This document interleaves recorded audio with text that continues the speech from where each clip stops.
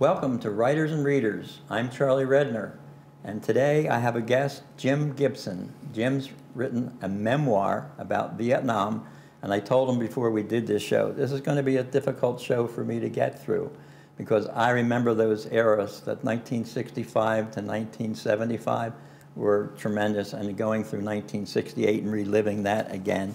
But also, uh, like Jim, we had a parallel uh, I guess, a parallel way we walked together, even though he was on the West Coast and I was on the East Coast. Jim Gibson, say hello to our audience. Hello, audience. They're out there. Um, Jim, let's start there. Um, you wrote a book, and let's, let's get the title of your book up there. Um, and we'll talk about how you got that title, because that title is amazing to me, that uh, not paid 11 cents an hour to think. Where did that come from? It's a chapter in my book. I have 60 chapters in my book, and the title of my book is Not Paid 11 Cents an Hour to Think. Right. That was something that was drilled into our heads in the Army during our basic training uh, life. Okay. We were always told that we're not, we're not to think on our own. Okay. We're not smart enough to think. Okay. So one day during a bivouac, a camping experience out in the boonies uh -huh. in basic training, uh, uh, I had left my rifle uh, unattended in a foxhole, which was a cardinal sin oh in the Army.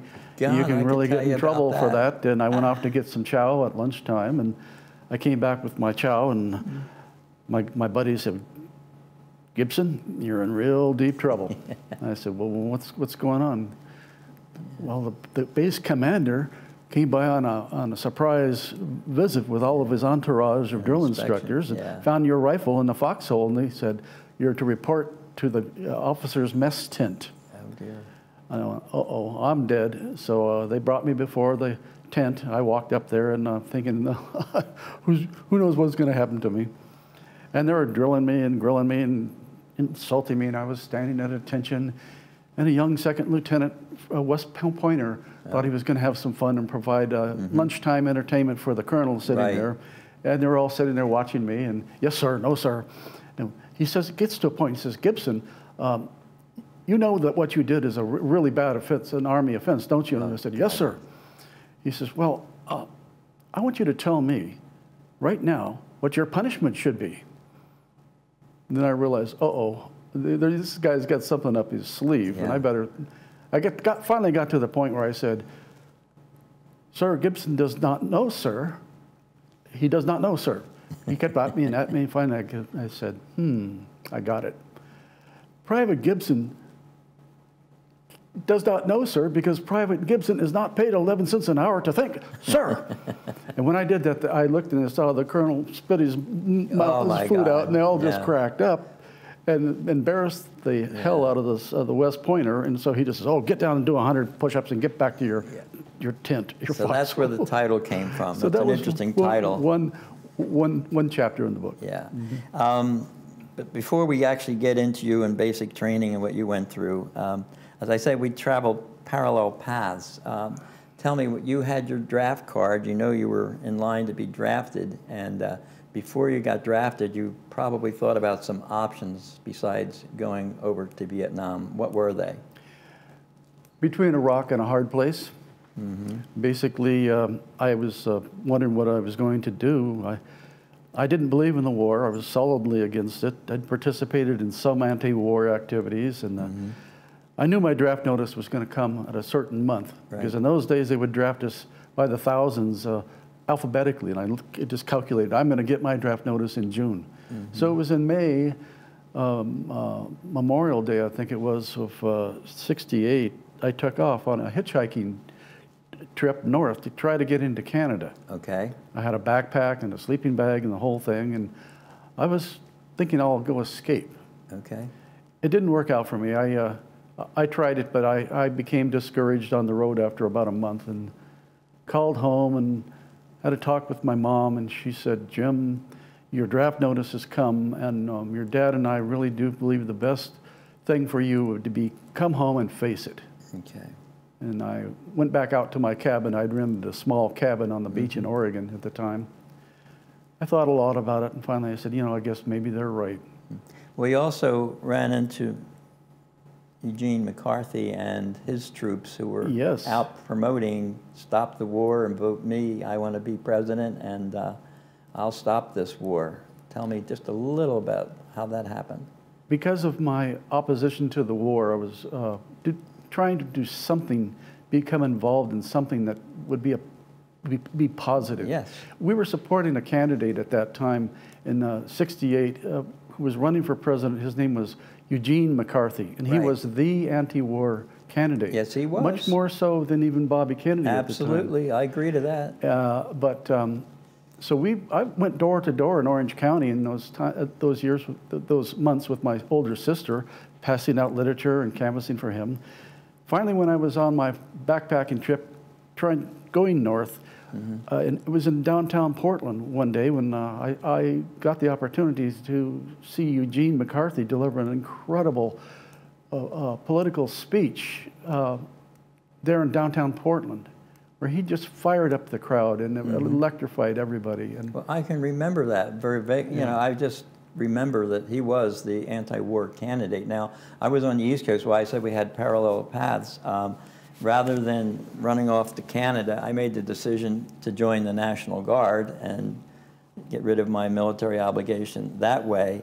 But I also got involved in, in politics, and I'm one of three people who literally grabbed Bob Kennedy and brought him down to southern New Jersey to campaign. He had just announced maybe a week before, and then two weeks later, President Johnson, I mean, uh, Vice President Johnson said he wasn't going to be running, or President Johnson. And so uh, what happened was that um, I ended up with, when Bobby got killed, 1968 was such a horrible year. I mean, just I just, I, I wrote down here because it's, it's hard to remember.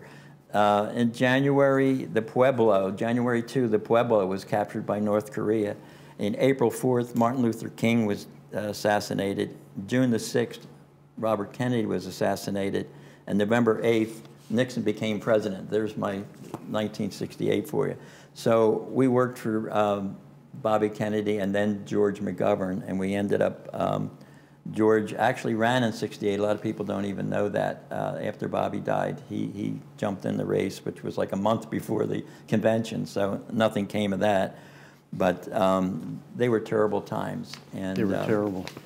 So uh, you ended up, um, I guess, I wanted to make this point because I just recently read it in that uh, McNamara book that President John Kennedy had signed an order to bring back some of our troops from Vietnam um, just a matter of weeks before he was assassinated. So maybe things had gone terribly wrong, obviously, then, but uh, they might have been different. What's your opinion on that? I think you're right. I think uh, JFK would have gotten us out of Vietnam, and it would have been a whole different story. Yeah. His assassination was just a, the most terrible thing. That's, our country went through a lot of change after his assassination. Absolutely did. Yeah. Yeah. Johnson and then, and then Nixon.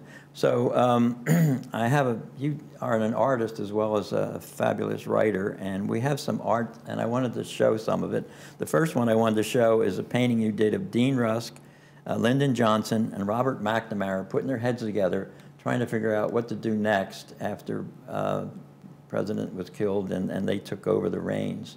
So um, can you tell me why you decided to, to paint those three uh, politicians? I was out to uh, illustrate what the war was really all about. And I write in my book how uh, most of my friends, and uh, when I was going to college the year before I got drafted, most of us were really against the war. And we felt a lot of resentment against these uh, older guys, these older politicians that uh, were forcing it, in, forcing it upon us. Yeah. It's what they wanted. It wasn't Right. what we wanted at all. And I had a lot of resentment against these men. And in my, uh, my piece, um, my painting, uh, I said, well, these were the, uh, the men that brought us into it. So that's why I, I Yeah. painted that. They absolutely did. And you brought something to mind since we've been talking since uh, I met you that what I never even thought and realized that 99%, I guess, of the of the people over in Vietnam, our soldiers, um, didn't want to be there either, and, except for maybe a small group that were so gun ho that that was something they wanted to do, but never realized that we were all non-war, um, you know, advocates. Well, I wouldn't go that far. I would say that a lot of us were not into that war at all. Um, the average soldier that I knew in Vietnam had, was a draftee, like myself. Sure. A young guy. I was 20 when I got there. And uh, we weren't really, we didn't want to go to that war. Of course not.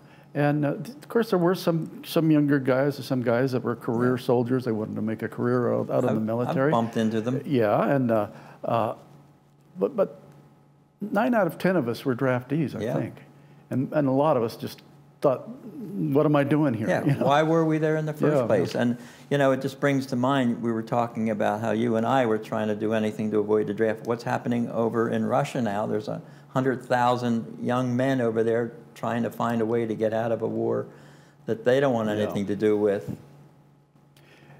It's a long, long problem that humanity has: Mm-hmm. war. And it probably isn't going to solve it in our lifetime, right? I highly doubt it. I doubt it too.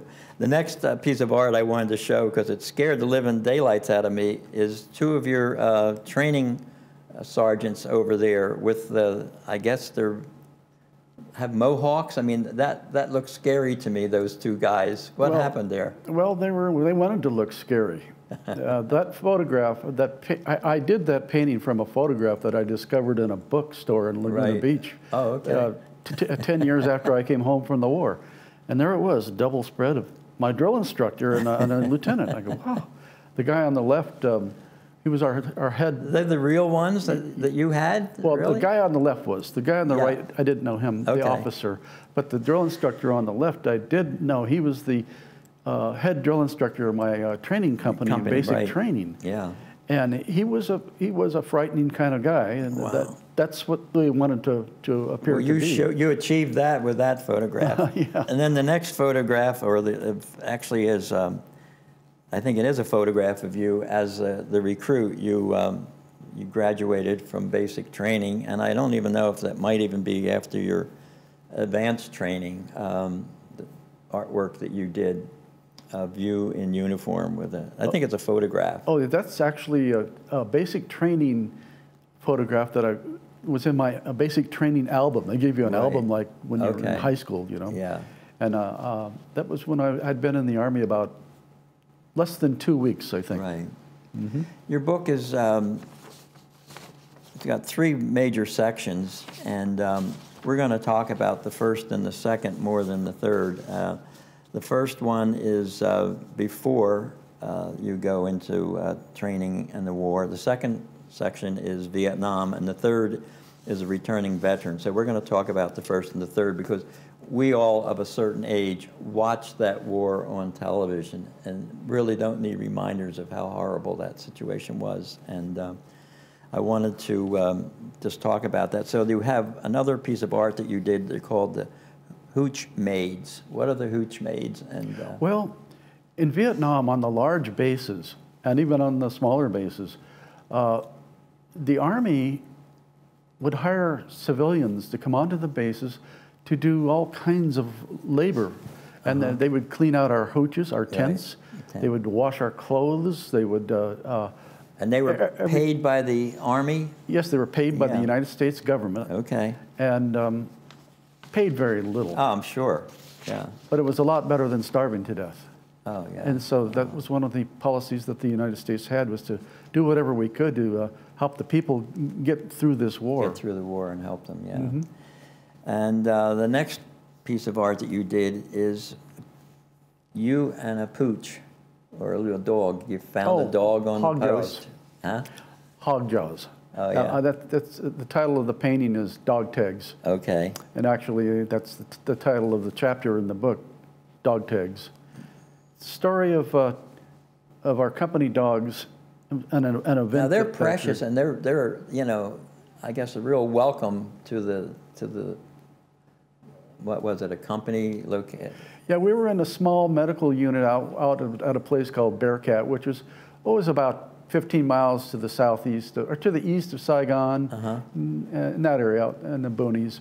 Mm-hmm. Uh, but uh, we, we were a small MASH unit, which meant we had one MD, a doctor who was the company commander, Right. and about a dozen of us medics, and uh, Okay. a few other personnel. Right. And uh, we, we, we had a couple of dogs that we had adopted. I don't know where they came from. Right. They were mutts, Yep. and one of them was named uh, Greg, and the other one was named Hogjaws. But Well- didn't one of them disappear for Well, a while yeah, and you um, had to go out and capture them? Well, yeah, back? the story was this.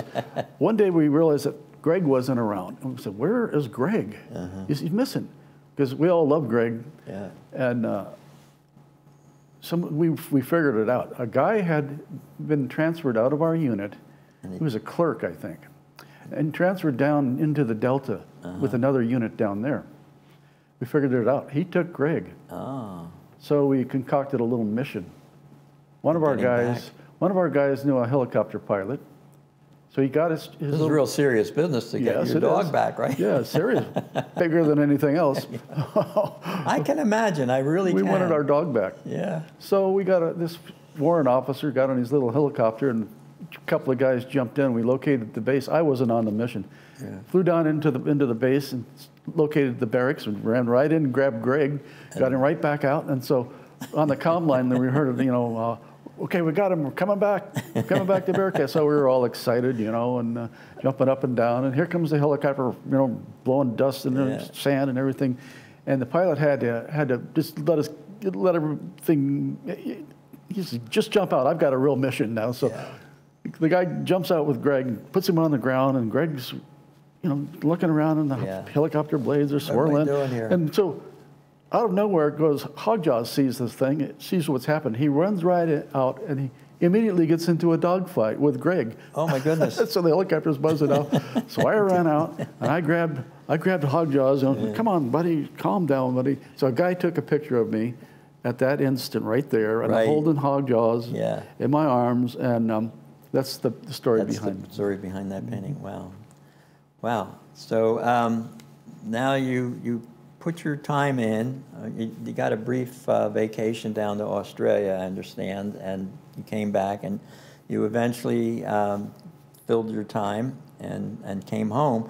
You did an illustration, or it's a photograph of you when you returned, and you have that look in your eye that I can't explain, but you look lost to me. I believe you're re- you're referring to the, my passport photograph. Yeah, Yeah. Uh, after the, I came home from the war, I felt like I didn't fit in any into the well, society. you weren't treated very well, right? I mean, you weren't we weren't. received at home, and you weren't received in the neighborhood or anybody. I remember specifically, Yeah. obviously, it, it, it wasn't good for Vietnam vets. They weren't honored in any way. They weren't saluted. They weren't feted. They just came home. I wanted to get out of the country. So I took my jungle money, couldn't spend it over there on anything, so I saved it in a bank and I said, I'm going, I'm going to Europe. Okay. So before I left, I took that passport photo, had that passport photograph taken of Yeah. me. And uh, it was a great trip getting out of America and just spending the whole spring, late spring and early, and most Was of it the your summer. brother was in Germany or My brother was in the U.S. Air Force in Berlin, Germany. Okay. And he, he had a great job. He worked as a military police guy Oh, for the Air Force at Tempelhof Air Base in Berlin.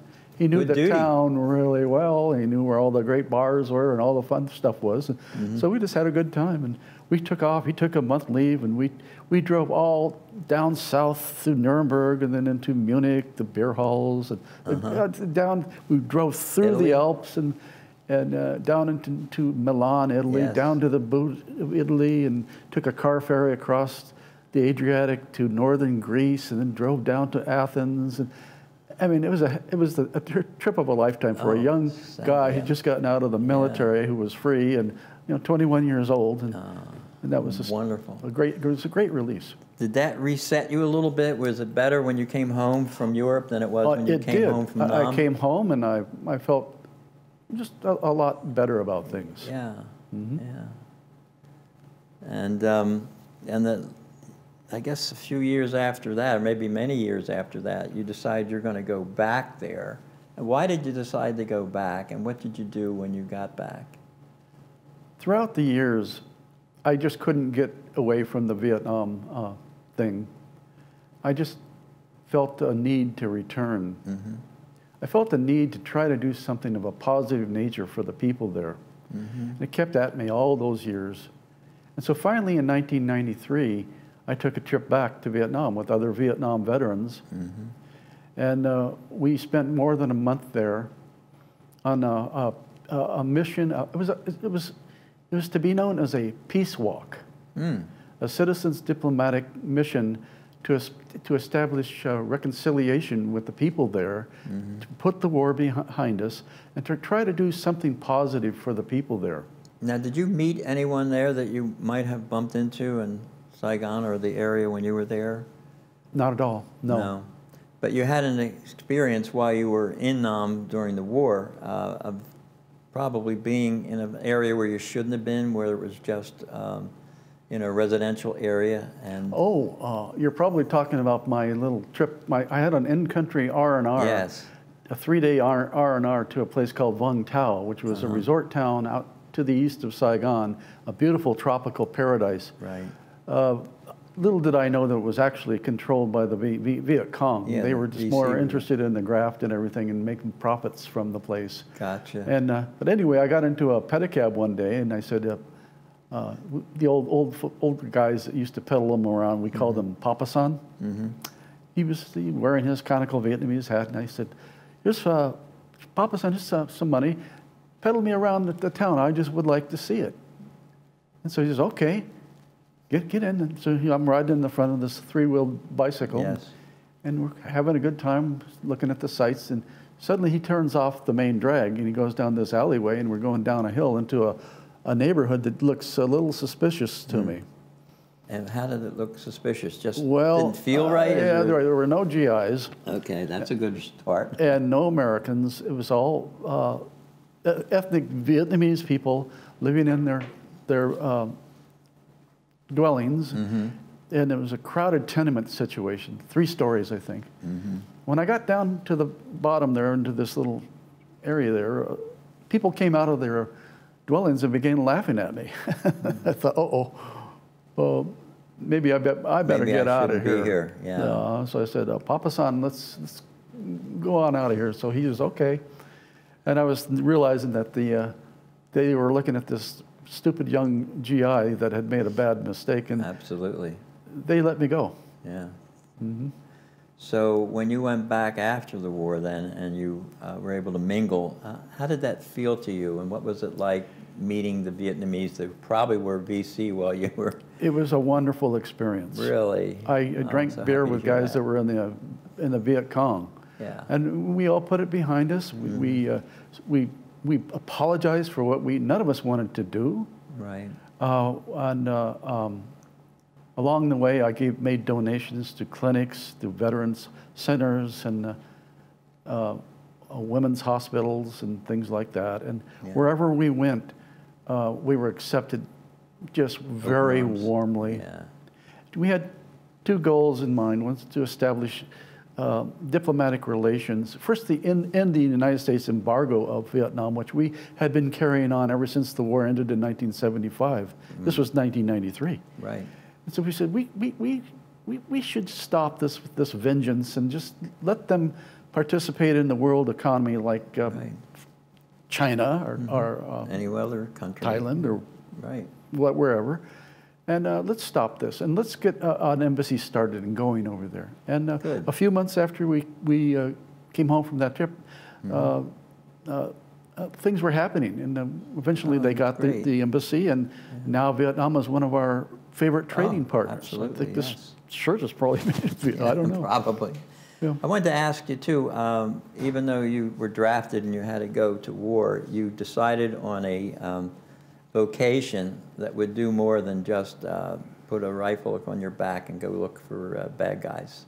What did you decide to do? Oh, well, when I got drafted, I, I sort of made a deal with myself. I didn't believe in this war, and I thought, well, if they're going to send me over there, I'm going to do it in a way that will help save people and will not hurt or kill people. Okay. So I did everything that I possibly could to become an Army medic. And I was I su- succeeded. And They did send me to a, a combat medics training school in Fort Sam, Houston, Texas, Uh-huh. where I was trained before I was sent to Vietnam. Okay, and so you did that through the war. So you kind of felt like you had to be there, and you might as well do something that's more favorable to humanity than than shooting at uh, people in the jungle. Yeah. So, yeah. There, there, are, there are young men in every war that don't want to kill people, and so sometimes the option is open for them to, to do that kind of thing. Mm-hmm. The downer to that is it can be extremely dangerous because you're out in the line of fire quite often, Mm-hmm. and uh, there's a large number of, of uh, Army and uh, Navy medics that have really given everything, and uh, so Oh, absolutely. I mean, because they're there, right there when it's happening, and, Yeah. and uh, it just. I was very fortunate to get through it. Uh, I, I just think, Without a ding, right? So- Yeah. mhm. Except what it does to your head, I guess, when you came back, and, and it, it lingers on, and. um, Oh, we, we've got it, well, you know, your dad, my yeah. dad, we've talked about that. Exactly, we talked about that. They Mhm. came They were both war veterans. and PTSD, and. They have went through a lot. The only, only thing they uh, had then to, to, to help recover was, was alcohol, and they sure. They sure took advantage it. of that, didn't they? My dad did, big Yeah, time. mine And, too. Yeah, so, wow. So um, I wanted to talk a little bit about, uh, it took a while to write the book, and we're running out of time, but um, why did it, it took till what, two years ago for you to get around to trying to write this? I had written the central part, my actual experience of the war itself, quite a few years ago, but I kept it just locked away. And Right, when, when the COVID pandemic struck, um, I'm an artist and I have a studio, uh, Yeah. which are uh, nearby, but we couldn't paint. I just didn't feel like painting. And for so about a year, I just turned my creative uh, self into, Into into writing writing and book. focusing on producing this book. Was it lethargic for you? I mean, did it make you feel better that you had gotten that down? Absolutely. Yeah. And I want to say the best part of this experience has been its reception from the guys that I've served with, who I've sent copies to, Uh-huh. and other other vets who have read it, and uh, uh, the, the great uh, um, uh, feeling of camaraderie that I've been able to achieve with my old buddies. Well, Jim, we're going to have to say goodbye for now, but you should come back on with your artwork and just do a whole thing on on your art, has even the things that don't have anything to do with Vietnam and the war, because you are a you're a joy to talk to. I am so proud to know you. I'm so honored that what you went through, what you did for us. Thank you. Thank you, Charlie. Thank you very much for having me here. Okay, we'll see you guys the next time. Remember, 10:30 on Mondays. Writers and readers, take care.